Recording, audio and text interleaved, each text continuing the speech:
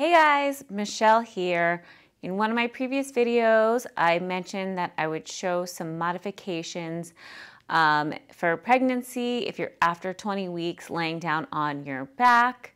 Um, this is great if you're pregnant and you have a machine at home, some options that you can do for footwork or feet and straps or if you're a new Pilates instructor or any Pilates instructor and you have a pregnant client, I know when I was a new instructor, I was always kind of nervous to train pregnant people because I didn't want them to get injured and I wanted to make sure I was doing the correct thing. So I just wanted to share four different alternatives or four different modifications where you could use, um, where pregnant people after 20 weeks could lay on their back that was safe. So here you go. So option one is my favorite option, but it is the most expensive option. It is using this Pilates wedge. So after 20 weeks, doctors suggest you shouldn't lay on your back flat for more than five minutes because it could create some blockage um, of oxygen and blood to your baby. So that's why they always suggest being at a slight incline. It should be about a 12 degree incline, which is what this wedge is. So this is, like I said, my favorite option. This is a balanced body. Um, when I bought it, it was around $215. I heard it's a little bit more in the 300s. So if you're a Pilates instructor, it's a great investment because you'll continuously use it if you have pregnant clients. So it is a little bit more expensive if it's, if it's your home machine and you're only gonna be pregnant once or twice or whatever. So, but this is my favorite. It's cushiony, it's soft. Um, it lays right between the shoulder rest. So it has a nice head, like long head pillow where your head lays and your body's on here. So then when you do footwork, you're at that incline. Like I said, it's cushiony. And then you can do normal footwork and it feels good. You might need to lighten the springs just a little bit than what you normally do. Um, I tend to not, or you could kind of hold on to the bottom because sometimes you feel like you're gonna slide up a little bit, but this is my favorite option. And you can always also use it for feet and straps. Um, use this wedge. So like I said, this is my favorite option, but not always cost effective. Modification number two is using a jump board. I have the cardio tramp, which is fine. You could still use it. If you have the wooden jump board with the padding, that's a little better option. Um, it's a little bit more comfortable, but like I said, you can still use the cardio tramp and this, a lot of times people have this, um, have the jump board, so it's an easy way to use it. Um, so you would take your jump board or cardio tramp, and then you would flip it over. So the part that you would normally put on um, in the pegs, like, is turned around. And because, like I said, because I have the cardio tramp, the metal um, rails is a little uncomfortable. So I have to actually put an extra padding on there. But like I said, if you have the normal wooden one, that should be padded all around. And it also is a little bit more sturdy because you're putting the back of it, um, the jump board, over the shoulder rest. So with the Cardio Tramp, there's like a little give compared to the wooden jump board, which is super solid. But again, like I said, I patted it down. So you're now still at an incline. You can lay down on your back. And then again, do normal footwork or put your feet in the straps with this option as well. So this is a great alternative if you don't want to spend the money on the Pilates wedge and you already have a jump board or maybe you're looking to invest in a jump board for future.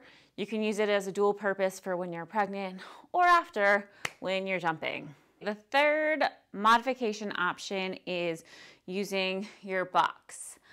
I don't find, I like the previous two options better, so I would always suggest using those two first. But again, depending on your budget, just use, and you wanna use the props you need, um, then you got this option. So you have your box. Make sure you put it in front of the shoulder rest because if you put it behind it, the box is gonna slide off because you're using your force to push it back. We also have to put the foot bar down one more notch because it's a little bit too close. And if I peg the machine out, then you really have no range of motion. So you could try pegging it out if you still feel like a little crammed. Um, try it out. And then this option, I also have to lighten my springs a little bit. So if I was gonna do two reds, a blue and a white, I would probably only do two reds and a blue here or two reds. Um, yes, it's not as hard as you would normally do for footwork, but you're still getting to work those legs.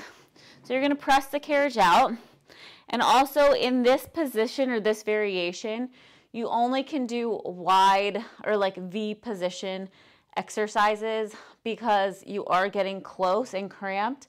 So if you do parallel, your belly gets in the way. So you're just gonna rest your elbows on the box. And you're kind of sitting up tall, lengthening through that spine. You can have your heels wide, and then you're just gonna press the carriage out and then pull it in.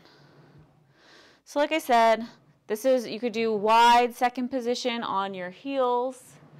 You can do toes wide on putting your toes wide because you have that V or wide position. And obviously the slower you go, the harder it is. And then also you can do V position or first position on your toes and heels, both variations. So again, it is another alternative for footwork um, where you don't have to lay on your back flat.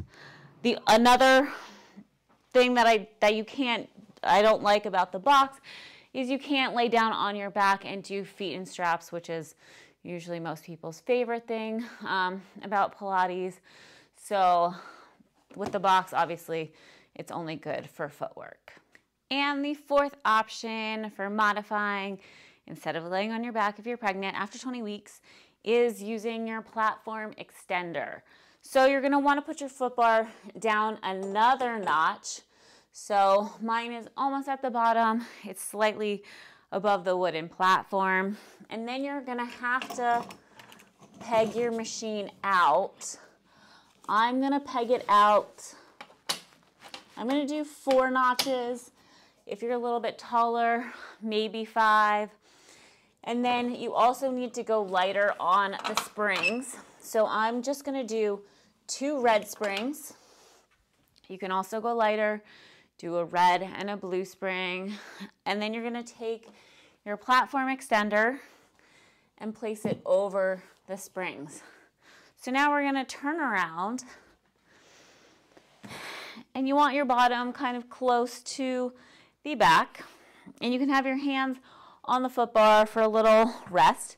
And then you're gonna place your heels wide in second position sitting up tall and you're using, again, the shoulder bar or the foot bar kind of to support you, you're just going to press it out and in. So this definitely, even though it's two red springs, it's much harder than if I was in the reverse direction. So you probably could drop down a little bit lighter on the springs depending on how you feel or how your clients feel. And again, in this position, you can do heels wide, you can do toes wide, or you could do first position, toes or heels. Like I said, by sitting up, it makes it a little bit harder. Like if I did heels parallel, I only can come in a little bit. So I mean, if that's all someone wants to do, you can always give it a try. You just can't get as deep a range of motion with this variation. And again, this way you can't do feet in straps. So there you go. There are four different options. If you are pregnant or have a client that are pregnant, ways to lay down or do exercises where you would normally lay on your back after 20 weeks that are safe and that you can do.